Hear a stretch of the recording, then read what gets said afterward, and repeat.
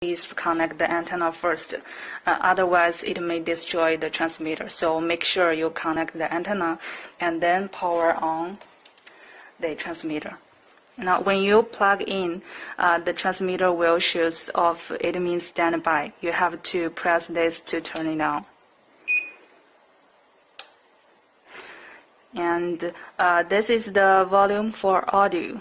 Uh, this is the volume for mic, and this is down up and this is turn on button.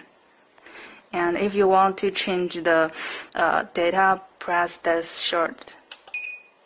You can see the megahertz flash and press up and down to change it. Now you can see the power. Press this to change it as well. And you can see that it's the mono sound and stereo sound. And this is stereo and this is mono. And this is stereo again. And this is the temperature. Okay? And uh, for the back you can see uh, this is the DC and this is for PC control. And this is the USB